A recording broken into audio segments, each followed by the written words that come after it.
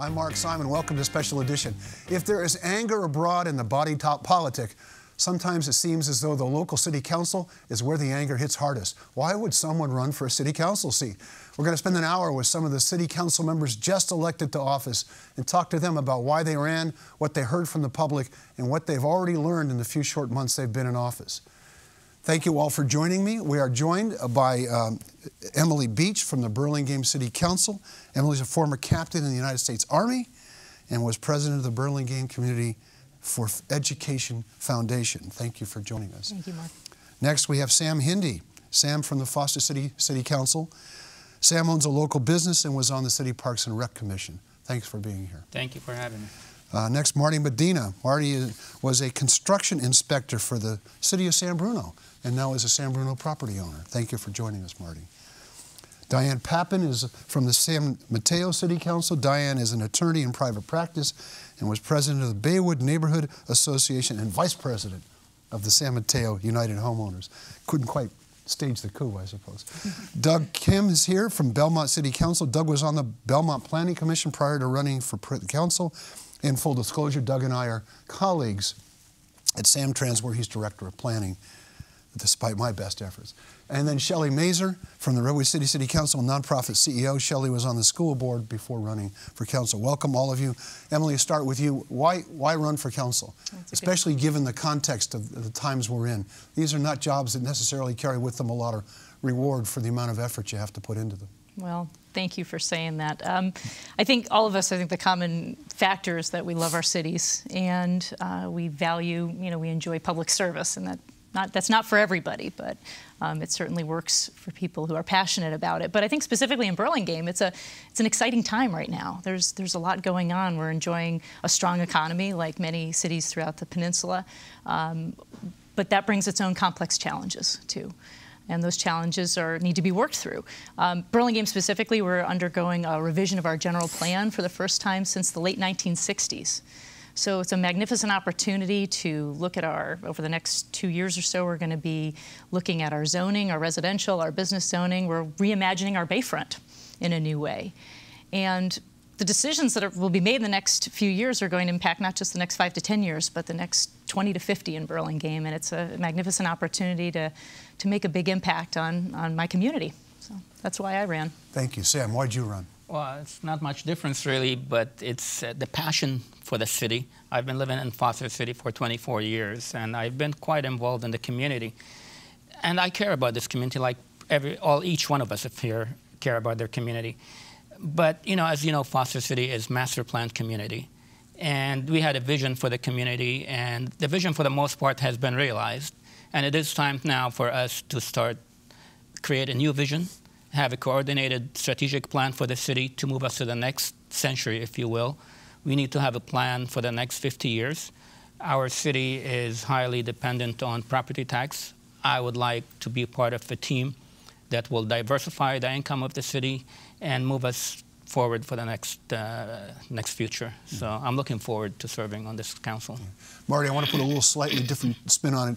All of them served on a Parks and Rec Commission or a homeowners association but you, you're sort of an outsider to, uh, to the city government. Yes, I am. Uh, so how did, that how did that change what prompted you to run? Well, as you said, I, I was a public works inspe inspector for the city for uh, almost 11 years. And as, as an employee there, I always thought that San Bruno just wasn't reaching its potential. And seeing from, from how our streets were, were degrading, how, how our water rates were increasing, and and it all came to a head when I found out I was going to be a father for the first time. Mm -hmm. And I had to make a very tough decision at that point to, to, to look at another job. I, I, I was provided a uh, opportunity to work for the current employer, Alameda County Water District, and I was looking to, forward to the opportunity to, to expand my career and, and look out for my family. So I made the, the decision to leave. And I realized that as I was leaving that, well, I could also be run for city council. And I did, but that was in 2013, and I lost.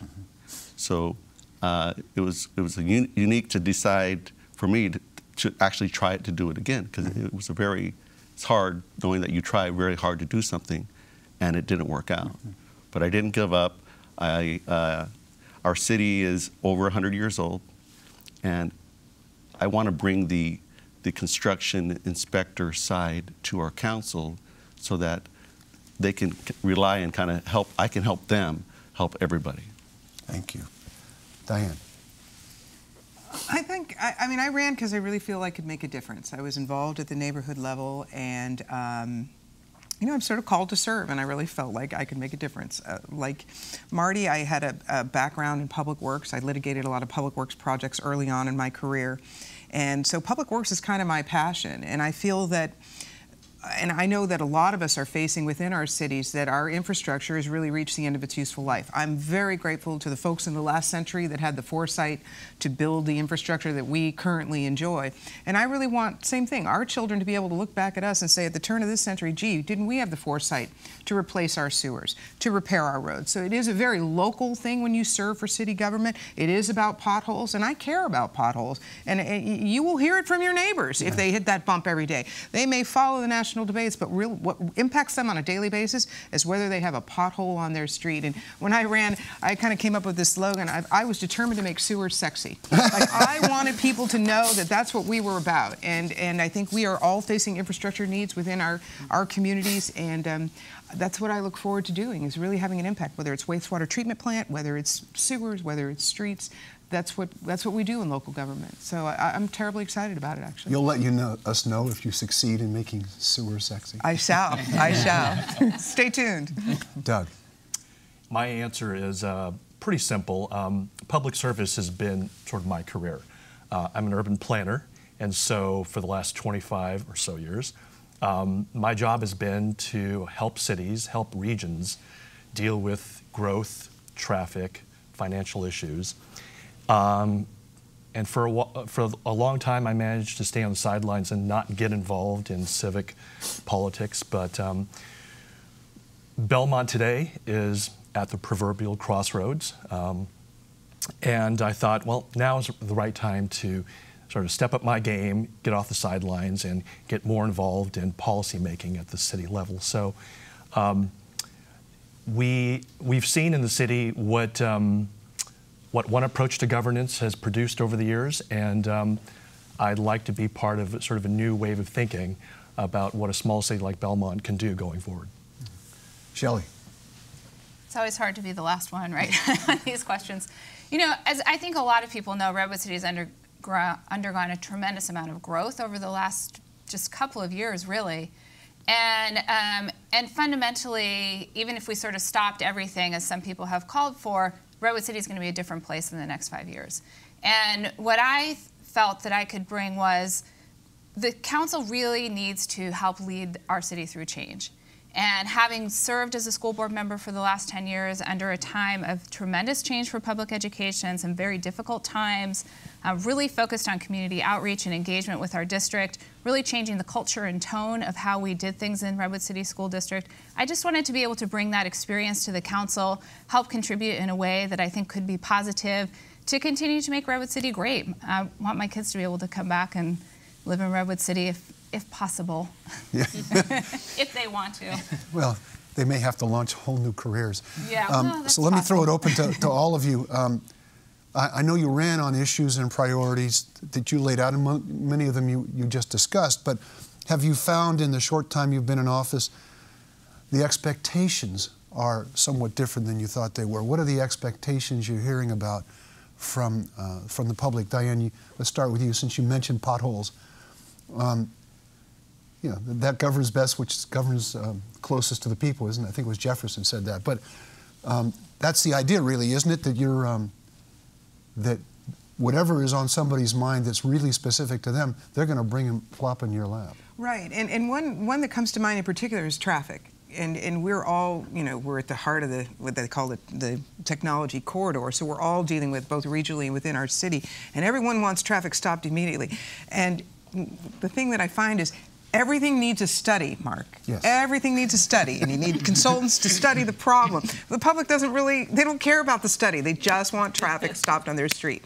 So I would say that's one area where, where we're learning to find the balance between, you know, you don't want to delay it too long because people are very uncomfortable right now. So uh, if we can sort of shorten up the study period, I think we might make our constituencies happier. Emily, how much of the job is, is explaining to people that the studies have to be done, that you can't just jump to a solution? Um, how much of your job is, is essentially being a go-between? Absolutely, being an ambassador, I think. Yeah. It, well, it, it, and it's, it's it's a magnificent form of government if you really think about it, right? The elected officials that sort of have a you know they're policymakers and they're um, can't possibly be experts in everything. And uh, once you're sitting in this seat, you really understand and have a whole new level of respect for the professional staff that runs the city. It's such a complex organization. My city manager has a great saying: "It's the tip of the iceberg." That's sort of the policy stuff too, but then there's a whole, uh, you know, just incredible um, efforts that go in to just keep a city running. So being an ambassador and under, having a glimpse of that behind the scenes of how complicated things are, whether it's to get a, a study done or to uh, try to get grade separation at a particular intersection, which we're well versed in here with Broadway. Um, you know, it's it, it's complicated, but we are the front lines, and we see the people in the grocery store and, and around town, and we're responsible to them to help communicate that and help. I think, as both Shelly alluded to too, is bring people along and engage people as much as possible, so that they begin to have the understanding um, of, of the reasons why. Who else has a comment on? The expe- unexpected expectations, maybe is the way to put it. You Shelly? know, I think somebody pointed out to me the other day that uh, government is not allowed to fail. You know, we sort we live in this innovation era, right? And so it's all about iterating and failing. But if you're a local government, that's not possible. And so, and you are going to sometimes make decisions where you think it's the right thing to do, which is why you do the studies. Um, but it's things don't work, and you have to be able to go back and work with your community and re-look at what, are you, how are we going to change this? How are we going to move things a little bit, so that it effectively is um, serving your city. But ultimately, the issue is, and I think Diane, you were just saying this a minute ago. It's about people's lives, right? So if you're sitting in traffic, you don't care about a study. You just care about, am I going to get to work on time? Am I going to get my kids to school on time? I, is somebody going to rear end me? Um, but so the pace with which things move, which you know, coming from a school district, I'm a little bit familiar with, is frustrating for the community. They, as you said, they just want things to change because their lives are being impacted on a daily basis. We're going to take a quick break. You'll all stick around, right? Yeah, Sure. You stick around too. We'll be right back.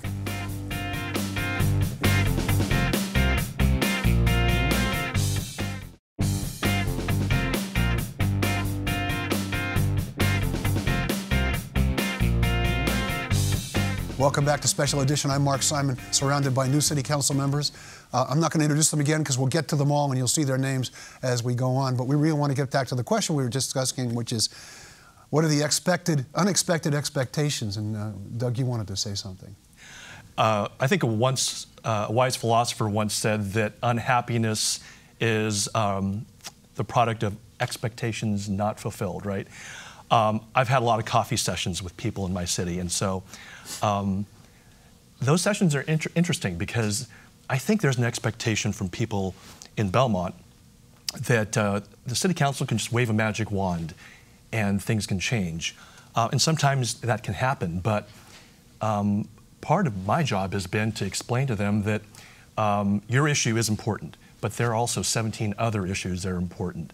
And so, as ambassadors, I think we have to let folks know that we have to balance a bunch of interests, sometimes are competing. In terms of expectations, the other thing I th- think is interesting is I've tried to educate people about the black box that is sort of government. And I've told them, you really need to get more involved. Get yourself educated about what's going on at City Hall. A lot of people simply don't have the time to be involved. I think part of our job is to try to pull more people into a more inclusive process. Hmm. Marty, what about you? You, you, you sort of have the outsider perspective, insider perspective at the same time. you know, I, I, I just want to keep people interested because now that there's an election, I don't know what are you going to do, and it's kind of like, well, there's a process. Well, there is a tendency for people to think, okay, I've voted, I've done my job, now you go fix everything. Exactly, exactly, and and one of the big things that, that is going on in, in San Bruno right now is that there's a hotel development. Mm-hmm. And it was quite controversial because at some certain point it, it was disclosed that the, the city was considering giving them nearly $4 million in, in subsidies or assistance. And we're still waiting. Uh, we had a closed session about the, about the, uh, the deal, and, and we're waiting. And, and the public's like, well, what's going on with that? And, and, and so a local uh, union, Local 2, uh, got involved, and, and they are the people that uh, serve in the hotels and the restaurants, and they, they want to have a union shop. And they brought 700 uh, postcards in Mm. of, of trying to, to show that this, the community was supporting union wages. And we're up there and we couldn't talk about it. And we want to engage with, with, with our, our constituents, but we're not allowed to talk about it until its process is through the negotiations, which are in closed session. So we can't even tell anybody about what's going on in, in closed session. So it's really you want to say something, but you can't. Legally, we cannot talk what, about what, what is, uh, happens in closed session. So it's, it's just getting people to understand that, the education um, of how things need to take their time and, and trying to get them there. Sam.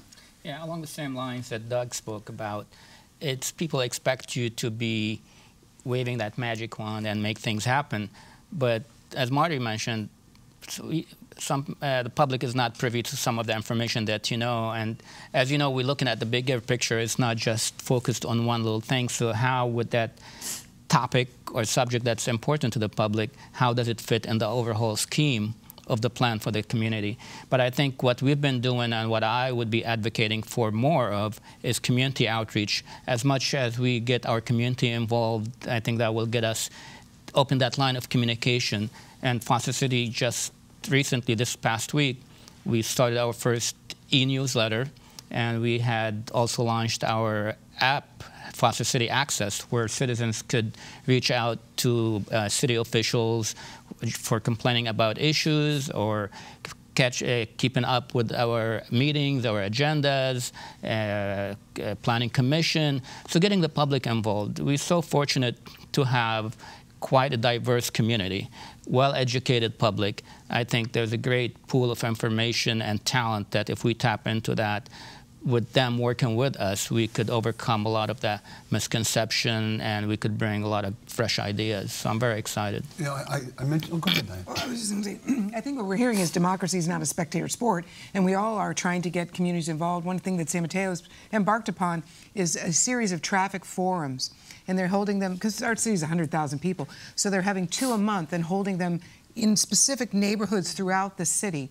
I went to the first one, and they had over 100 people, broke them out into groups, working sessions. You know, which street corner do you hate the most, and what's happening with it? So engaging the public is always going to be a challenge for us. Um, it's one thing to complain, but it's another thing to get together and actually collectively, constructively try to work upon, you know, our individual problems. So it's a challenge for us. And that's the hard part, Shelly. Well, it's just, I think that's it's a great point because um, the next step after complaining is what's your, what's a solution, right? And um, and there is lots to complain about. I mean, we do have lots of challenges that are brought on by for a lot of different reasons in this region, and I think we all, to a certain degree, have some similar challenges.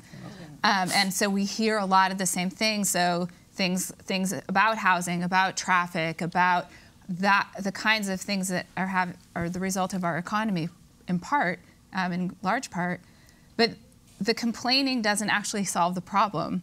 And so, what I think we need the public to help us think about is okay, so we know this is a, an issue, so what are we going to do about it? And it's not just you guys come up with a good solution, you guys come up with a creative solution that nobody's thought about before because a lot of these issues are ongoing things. It's not new that people have had traffic problems over the years, right? It's not new that we've had a housing crisis. It ebbs and flows from time to time, but what that you've you, it's a whole series of things that are going to help us address that challenge.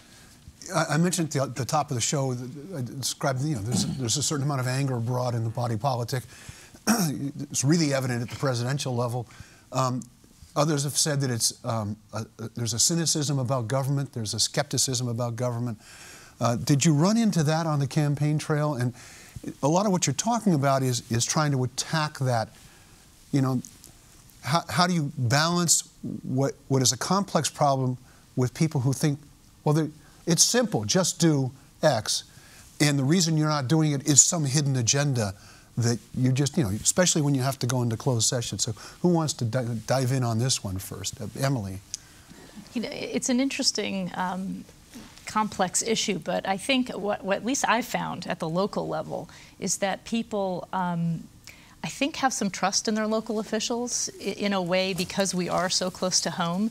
And I found, you know, it's a very grassroots process running. I'm sure all of us went through a similar process. There's there's door knocking. I mean, I think I knocked on 2,000 doors in Burlingame myself, let alone the team. Um, you're meeting with people, and for the most part, they really appreciate, for the most part, that you're out there, mostly wanting to listen to mm-hmm. them, not exposed by viewpoint. It's really a, a listening process, internalizing, and I think that. Um, that helps us a little bit at the local level because we are so accessible. We need to be. They, they know our emails, our phone numbers. We meet for coffee, and we're out there, and um, you know we can address those issues on a local level in a very accessible way. Somebody else, Doug. Oh, Sam, go ahead. Well, you know, the most rewarding part of being on a local level uh, politics is you see the impact mm-hmm. of the work you've done immediately, and you see it yourself and you hear from your constituents on, on, on, on, a daily basis. So we are interacting with our residents and with our businesses on a daily basis. So this is very rewarding. And speaking like Emily, knocking on doors, I was quite surprised. Uh, people are so welcoming. People were waiting for us to come in, knock on their doors, and got invited to many houses to come in, have lunches, have dinners, and so forth but people really wanted to come and talk to you. And they appreciate that you are running. I had several people said, we're going to vote for you just because you came out to our door. I mean, mm-hmm. so people, for the most part, appreciate what we're doing. And, and, you know, they understand that we are taking time from our families, from our businesses, for the betterment of our cities. So uh, I, I think we are being appreciated. Yeah. And of course, it's an ongoing process. We have to keep improving. We have to keep, I think the key is really communicating with the public, keep them apprised to what's going on. On the other hand, you probably haven't had to cast a controversial vote yet, except maybe the vote for mayor in Redwood City. Um, and, and, well, and, and maybe that's a good example of what I'm talking about because there's a, tent, a, temptation when you're cynical to think you're smart by saying, I know what's really going on. I know the deals that were made behind the scenes right. when maybe there weren't any. Right. So, so let's talk about that a little bit in terms of the, you know, what did you learn from the campaign that was of any use at all in, in terms of being involved in a situation where somebody's saying, well, I know what they're really doing there? Yeah, I mean, I, I, think you're right, Mark, and people do have a lot of expectations when you run. And when you're running, you're fresh and you're new and you haven't done anything that's going to potentially upset anybody. I think probably lots of people got this question when you were running is, well, what's the first thing you're going to do? Yeah. Right? Like, what's the first thing you're going to do? And one of the things I said in one forum was, I am not going to, you know, I individually cannot do anything. And I think that's a really important thing for people to understand. When you sit on a governing body like we do as a council, it takes a majority of your council to make anything happen. And so, as an as an individual, you shouldn't be moving a particular project or idea or something like that without the support of the rest of the council. That if that's happening, then something is really not working properly in your city. Um, but that's also frustrating because we've had I've already had people come up and testify. I voted for you. You said you were going to do this. I expect this to happen. Um, but again, I can only do it if I have the rest of my council. So a piece of it is a really important piece of it is developing relationships with your other council members, helping understand how they think, what are their issues, what do they know, within the Brown Act, of course. um, and then being able to try and have that discussion publicly when controversial issues come up. We've had several already on our agenda in Redwood City over the last couple of weeks. So, um, so you dove right in. We dove right in for sure. Doug, you had a thought? Well, you know, it's interesting. Um, through the whole campaign, I learned probably two or three things. First, there's probably nothing more uncomfortable than deciding whether you're going to knock on someone's door at 6:45 on a Tuesday night when you know they're having dinner. But I found what I think a lot of people found, which is people are extremely grateful that you took the time to um, to talk to them. And um, I found that uh, a lot of folks felt that they wanted City, Hall to do, do a better job in listening to them, which to me is a two way street because it has to be a, a participatory uh, sport. If, um, if folks aren't going to get involved, keep educated about issues, then you're not getting that sort of feedback from the public. But then I also heard a, a different approach, which was, you know what, I just want City Hall to work, just make it work. Um, and I said, well, you know, that's, that's our job, but it would be nice to get input from you throughout the process. process. So please stay involved. Um, otherwise, we don't really know what's important to you uh, in the process of governing. We're going to take a break. Stick around. We'll be right back.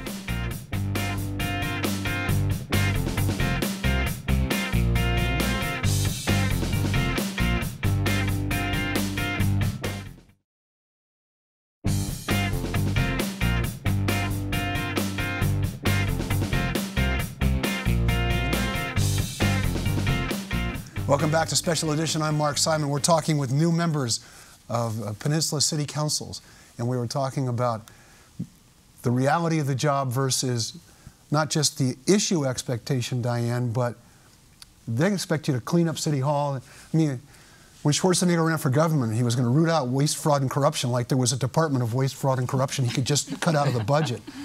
And of course, he never quite got around to it. Yeah. Um, and, and so, how do you deal with the cynicism, the expectation that you're going to disappoint the public, that we really know what's going on behind right. the scenes? Well, I think it's about disseminating information, so pushing information out, and also garnering information and bringing it in. And, and I think, like many of us have said, people want to be heard.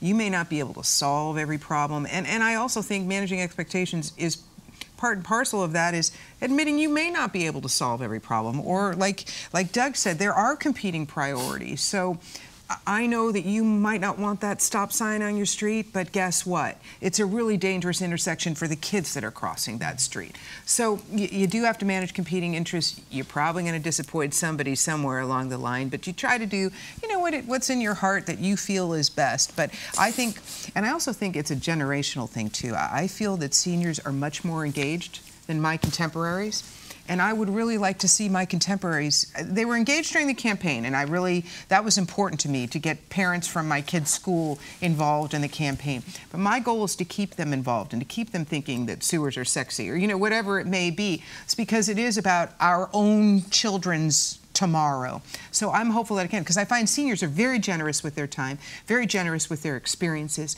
and and op very open-minded to what government can and can't do. But I feel our contemporaries, they're busy with their lives. The goal is to keep them involved. What have you learned being on the council that you didn't expect? I mean, we were we were chatting before about you know, there was a, a longtime city manager of Burlingame, Jim Nantell, said whenever he had a new council member who came in with 27 great ideas, the first thing he'd say is, do you have three votes? That's um, right. And, and, of course, knowing that you actually can't go get three votes until you present it in public, which tended to take a little wind out of your sails. Have you had the wind taken out of your sails a little bit so far? Or is, yeah, is, it is about counting. It's definitely about counting. You know, do you have the votes? Can you convince? In my case, it's it's two others. Right. Um, so um, we're we're finding our way on that one. Yeah. Anything surprised you? You know, I, the thing I was actually surprised about is the volume of email, and that sounds kind of silly, but um, the things that people email their council about um, that really is not about, at least in Redwood City is not necessarily about something you can do as a city or an issue they have with the city, but all kinds of bigger issues. Um, that's one piece. But then, really, people do send us a lot. I think Redwood City is in a unique position probably because of the rate of development and how much has changed in our city. Uh, but we are constantly getting um, many, many, many emails each day. And I guess I just didn't sort of realize that that was going to be the case. So I'm trying to get back to everybody's. Other surprises, Marty. Um, yes, of course. Uh, um, San, San, Bruno owns its own um, cable company. And yeah, we're working on that here at Penn. so uh, there is a large uh, homeowner association of condos, um, Shelter Creek, and they were approached by a competitor that wanted to come in and bring fiber to that complex. And this is a time where government can work fast, where we responded, we talked to our to our crews about how quickly could you get fiber to that area. And we voted on it, and I was able to, to look at it a little differently, saying, well, we can anticipate that coming to the next, they call it low fruit, right? Right. Where the next uh, AT&T or Verizon or whomever is going to look at another big complex. So I asked our council, hey, when we put the bid out, let's get an alternate bid to where we can also look at these other two locations in our city so that we could compare the prices and maybe go for a bigger project or we can scale it back depending on what the prices are. So things things come up unexpectedly and, and then, then again, and it goes fast or it goes really slow. So, so I, was, I was surprised about that dynamic of, Uh-huh. of that range. Yeah. Emily. Surprises on the job. I, we alluded a little to it before, um, how complicated it is running a city. Uh, but I think, like Diane, I have a bit of a passion for infrastructure. I talked a lot about it during the campaign. But my favorite day on the job so far was getting a four-hour tour of Burlingame's water and sewer infrastructure with the magnificent Did, staff. did you find that they were sexy to be in? I wouldn't say they were sexy, but it was fascinating. How many times have I ridden my bike by places in Burlingame, and little did I know there's underground reservoirs and there's pump stations that, you know, in an emergency there's redundancy, so water can get to homes up to the top of the hill by Skyline, and then, you know, when the rains hit, how the storm drains work, and just seeing that firsthand, you mm-hmm. understand how that's the most basic thing we do at a city level is deliver quality city services and our infrastructure and how much money that costs and expertise. And um, what a priority it is and it was it was very insightful so I say that was a surprise I expected but I didn't quite expect it to be that surprised Yeah. Anybody else?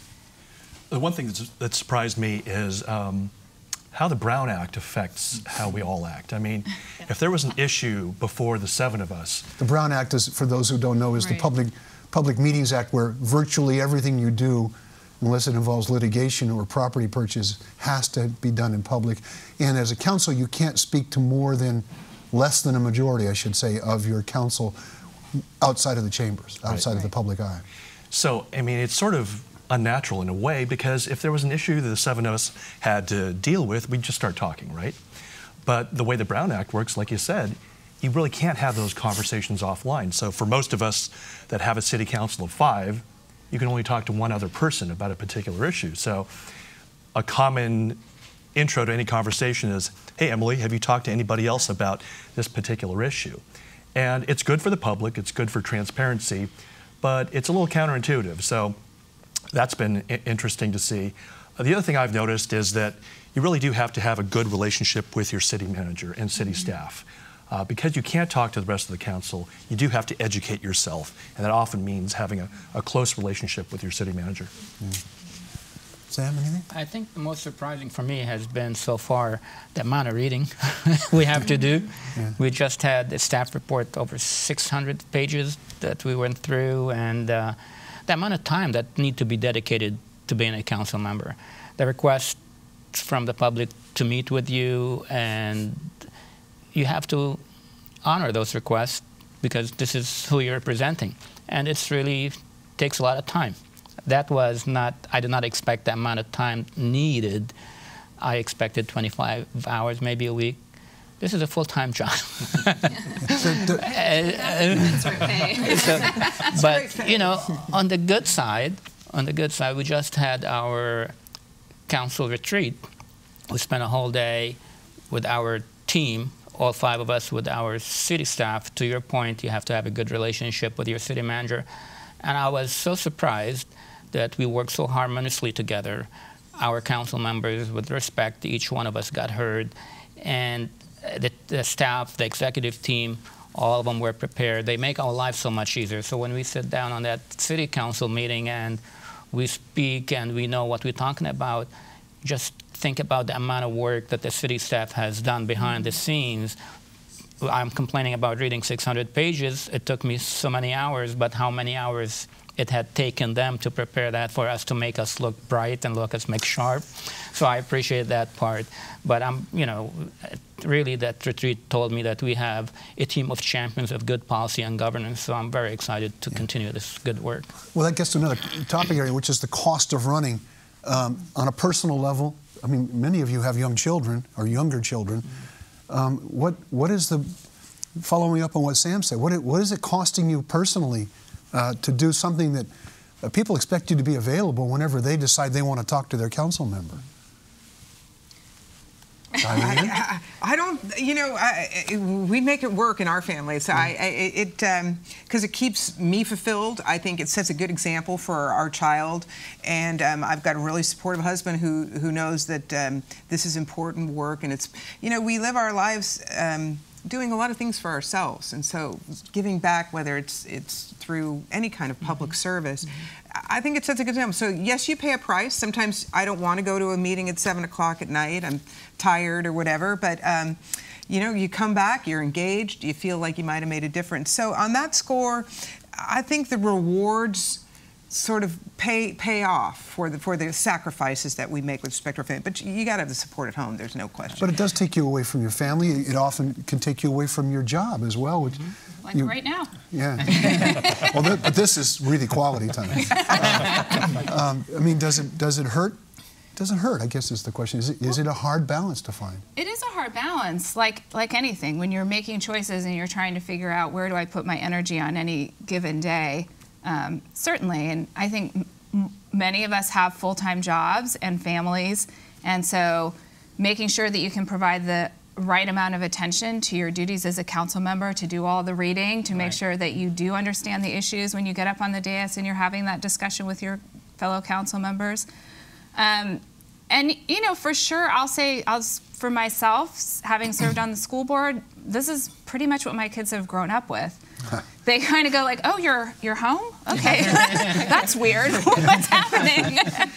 now I'm gone on Monday nights instead of Wednesday nights, but um, but it is a cost to your family. I mean, it certainly is, and they, to a certain extent, are a little bit in the public eye, sort of depending on. Um, you know the level of visibility that you have as a council member and um, and the, for my kids my boys are in high school my daughter's now in college they have had to sort of um, They're at an age where they don't want to be seen in public with you. Anyway. well there's that but i mean it is they have sort of had to be much more independent than a lot of their um, friends and i think that's probably true for those of you with younger kids as well what about those, Marty? It's a sacrifice that I knew going into it that, that I was willing to, to, to pay. Yeah, well, what do you do though when your kid says, "Dad, you're never around anymore"? He hasn't said that yet. He, he asked, um, Are you going to meeting? and I said, Yes. And by the way, he thinks he's also the vice mayor. so, so he's only three and a half, and, and so he, he, he's okay with it. He, he, um, I'm, it probably affects me more than it does him. And, and, um, but It's just it- hard to leave. It's all about what we do now will affect his future in our mm-hmm. city Yeah. And, and for all of our cities. So it's, it's worth it. We're going to we're gonna make a big difference in San Bruno. We're going to take another break. Stick around. We'll be right back.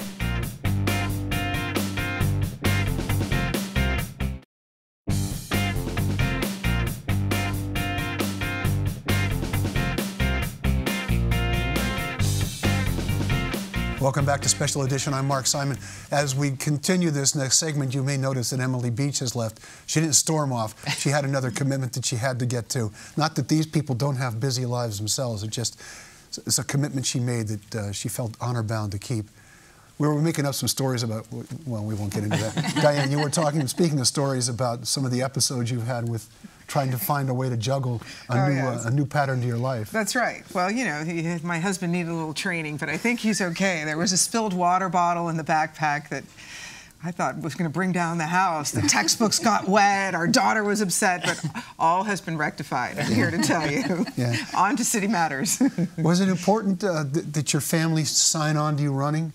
And like a lot of the members of the public, did they understand what they were getting into when this got started? Uh, absolutely. When I decided to run, the first question I was asked by my team is your wife signed on on this? Yeah. you got to make sure your wife is signed on. So we did have that discussion, and we did say this is a commitment, but this is a commitment for the community from all of us, and to leave a better community for our children and grandchildren. So the price was worth it for my wife decided. And I'm so fortunate that I work in the city, so I do get to see my children right after school when they come back at 3.30, 4 o'clock before we go to the meetings and so forth. So that's fortunate that I will be able to juggle between those.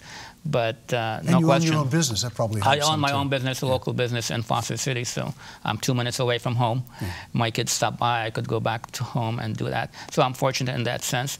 But it is really a, a commitment from the whole family. So even the kids that will take time from me being there in the evening when the meetings.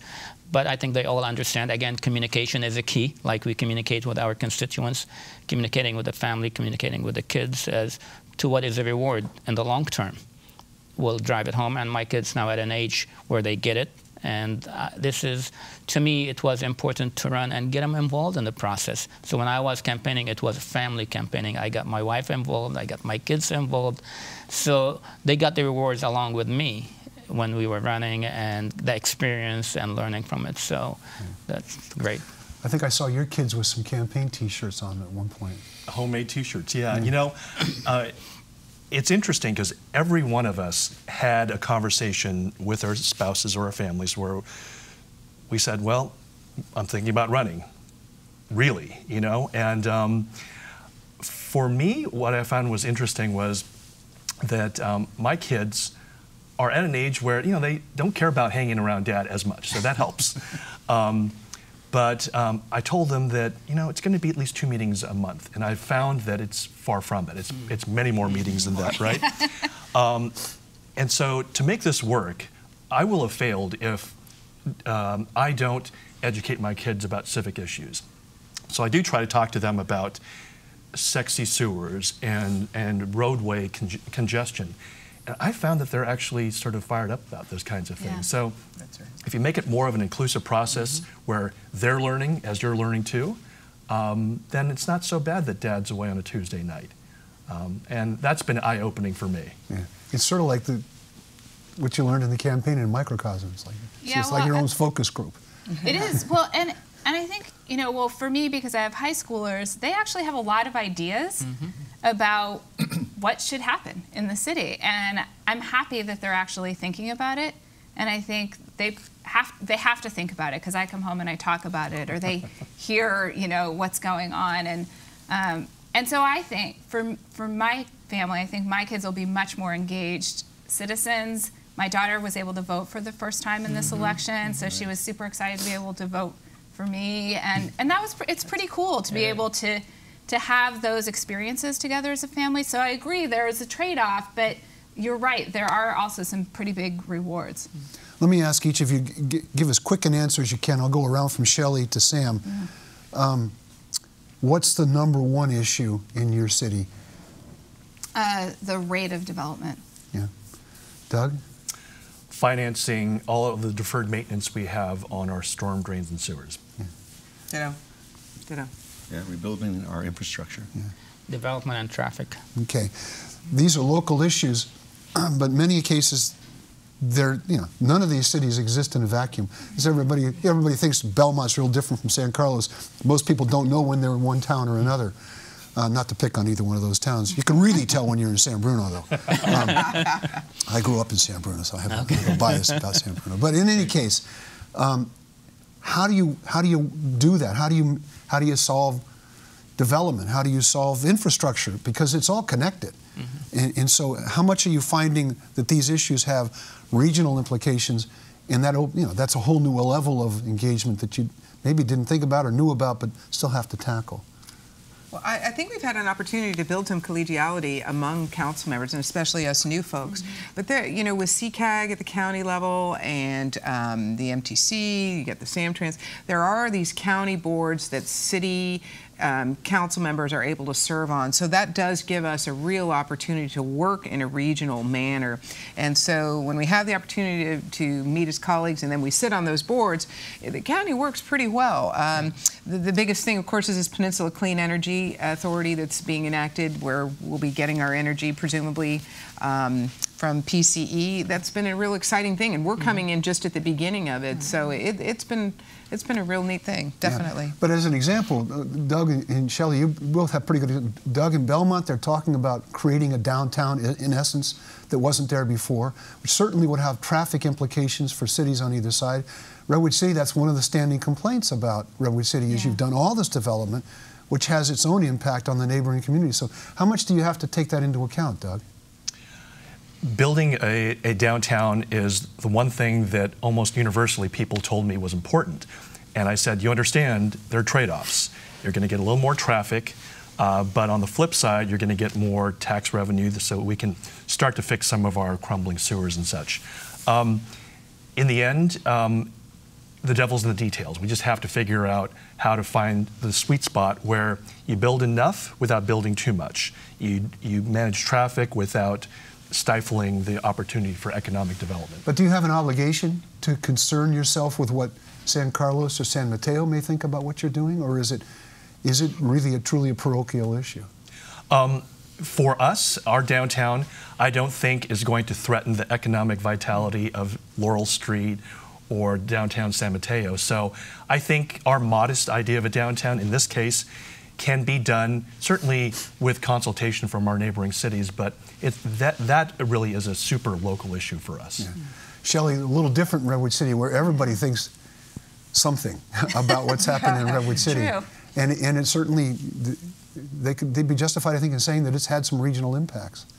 Yeah, I think it absolutely has had regional impact. If you look at the rate of new businesses coming into Redwood City and what that's meant for commuters, both on Caltrain and on our roads, um, it's it is significant. There's no doubt about it. And so, and I think Diane's point is great about the opportunity for us to serve on some of these regional boards. It's why it's important to both make um, have good relationships on your own council, but across the different cities, so you can pick up the phone and say, "Hey, you know, we're discussing this. It's on our agenda.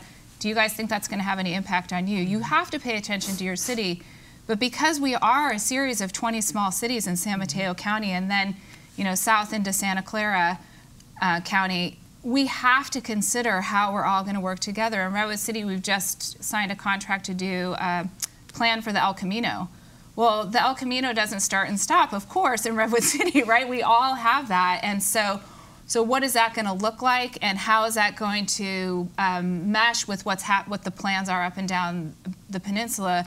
Makes a difference for people's quality of life in in each of our cities.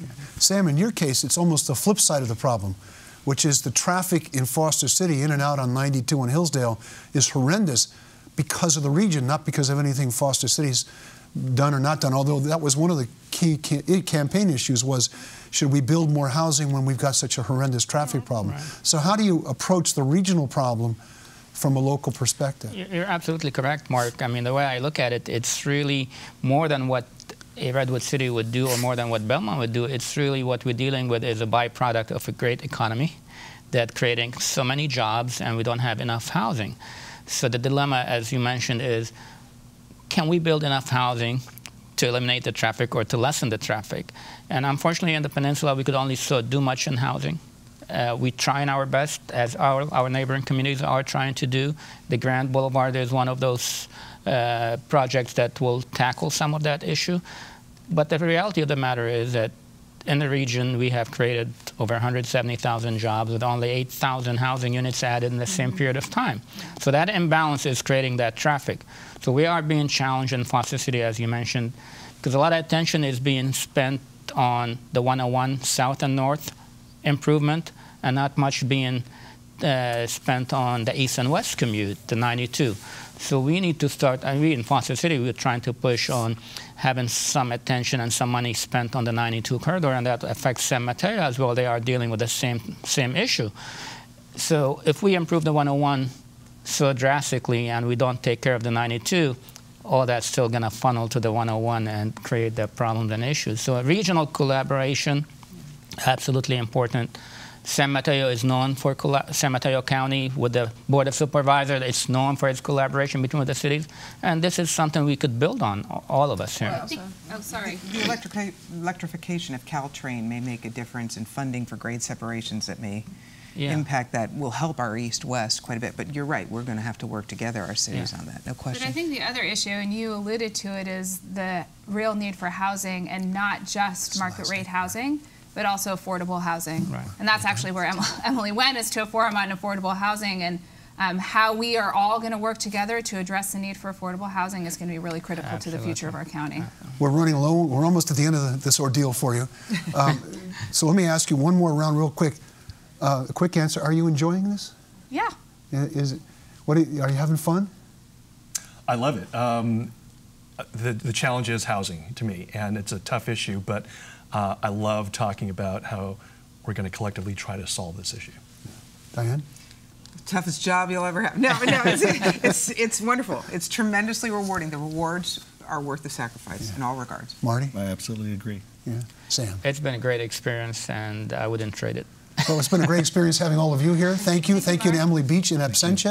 And thank you for joining us for watching Special Edition. We'll see you again soon.